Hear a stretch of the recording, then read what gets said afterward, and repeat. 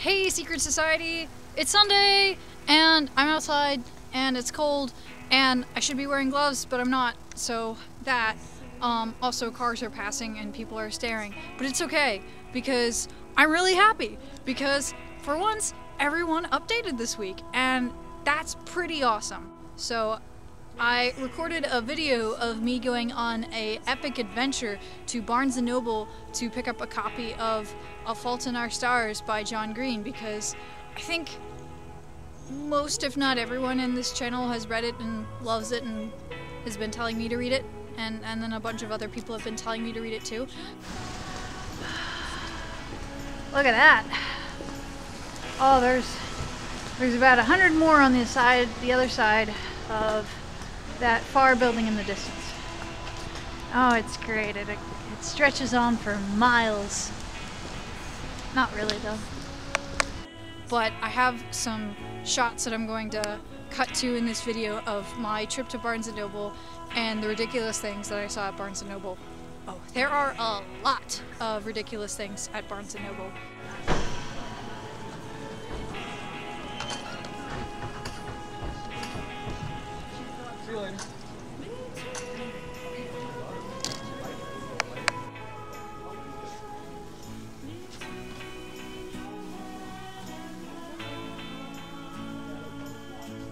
So this week I'm shooting from a ham handheld camcorder and it's it's small and I can't quite tell when I'm in the picture.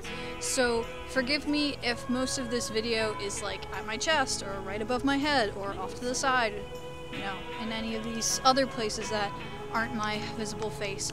Also, this is as far as my arm goes away from my body. So I'm sorry if this is really, really close, because this is not usually the kind of intimacy I like to have with my viewers.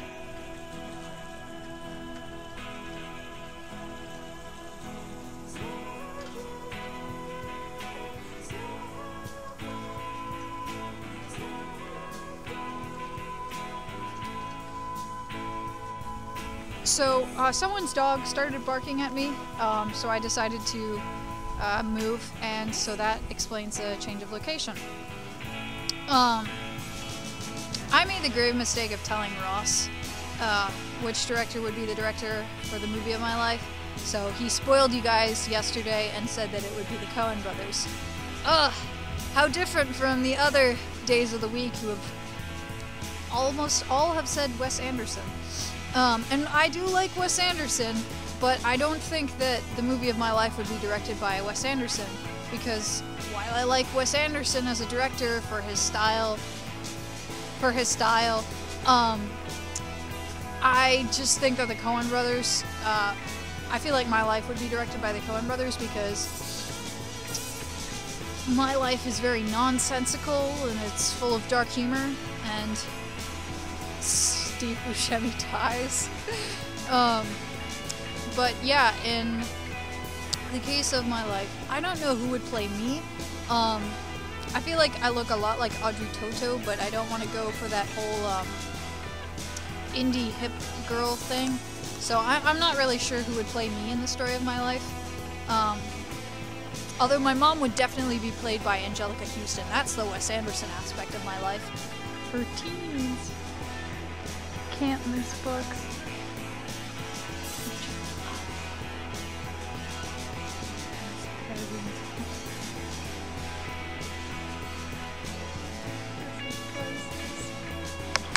So here's the thing about my ex-boyfriends, and in that in the range of them. Um, I've had one uh, say, "Wow, your dad looks like Paul McCartney," and then another one say, "Wow, your dad looks like Ricky Gervais." So this really, uh, I hope that can tell you the kind of quality of men that I date.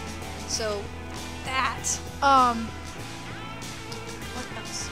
Um, not sure who my friends would be played by.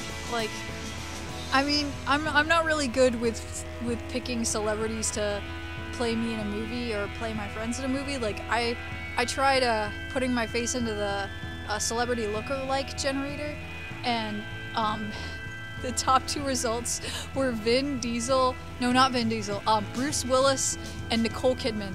And I look nothing like Bruce Willis or Nicole Kidman. So that was pretty weird.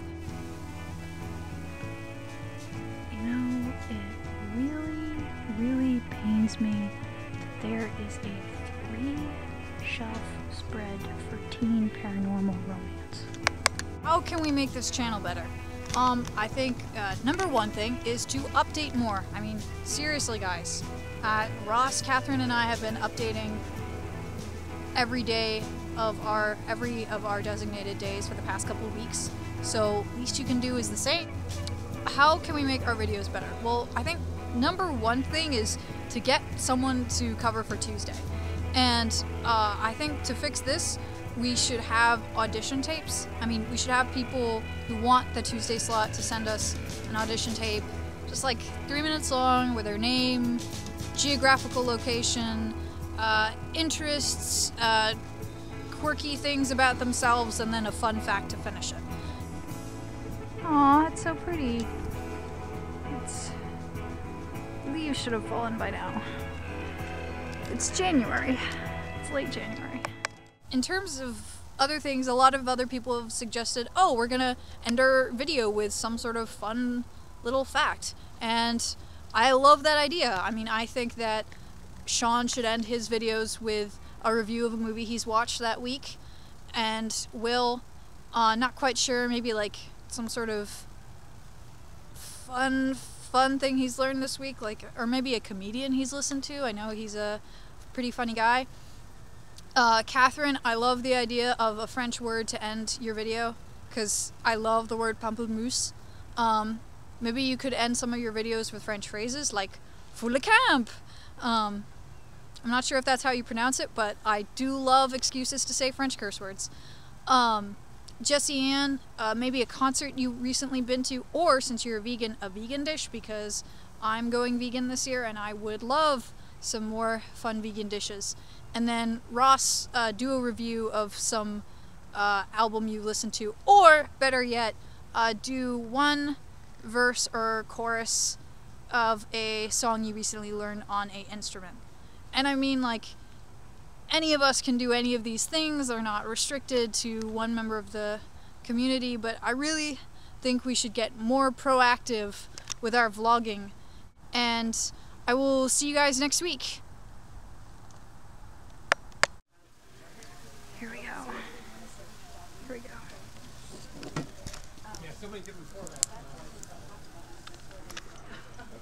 This is exciting. This is very exciting. And I wish this was in focus. No, no, no, no focus. No focus today. I cannot focus.